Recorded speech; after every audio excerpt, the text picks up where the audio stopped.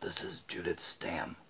She was a jurist and politician that lived between 1934 and 2022. She served as a member of the National Council of Switzerland